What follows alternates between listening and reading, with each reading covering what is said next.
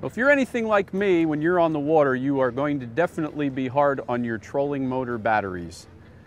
Today I'm here on the Delaware River fishing with Rich Mummey. Rich is the Pennsylvania Regional Interstate Battery Rep. Rich is going to go over a couple of very important tips on battery maintenance, on charging, and on how to choose the battery that best fits your needs.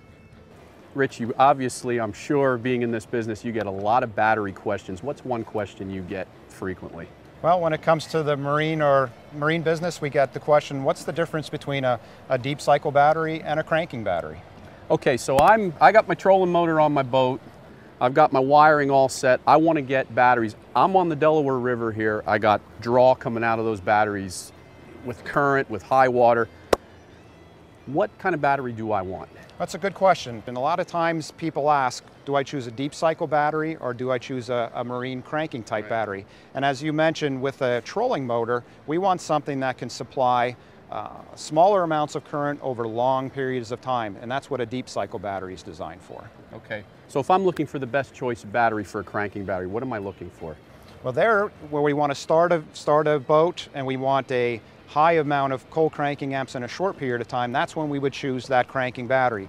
Those batteries are designed, again, not for like a trolling motor where we have a, a long duration of short amounts of current. Here we want one quick burst of energy to start that boat. That's where we'd use a cranking or marine cranking battery. Okay. All right, Rich, I'm out on the river just about every day and I use a lot of my battery power throughout the day.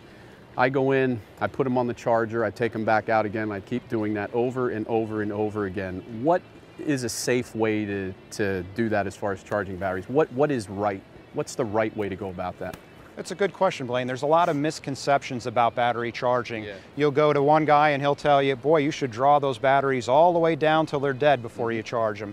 And others say you should charge them every opportunity. Well, believe it or not, the way you're doing it is the proper way. Okay. Anytime you discharge a battery, if we go out for the entire day today and we fish for 10 hours, we want to go back and charge those batteries. If we go out and a storm hits and we've only been out there for half an hour, we want to get back and charge those batteries.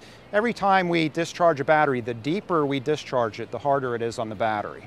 So if we were to go uh, trip by trip by trip without charging batteries, we're actually reducing the amount of cycles we'll get out of that battery. So we call that opportunity charging. Whenever mm -hmm. you have the opportunity, if you can go back, park the boat, plug that charger in, that's much better. You'll get longer life out of your batteries. I like to hear that. I'm doing something right with my batteries. Absolutely. I don't know, man. I learned a lot. I I thought I knew everything about batteries. I've, I use them every day, but man, that's, that's good stuff. Thank you very much, Rich, for joining me today. You're welcome. Thank you for having me. Let's go fishing. What do you say? Absolutely. All right. So if you're on the water as often as I am and you want to stay on the water, use the outrageously dependable Interstate batteries. It'll keep you on the water and on the fish. Interstate Batteries, the choice of Backwoods Angler TV.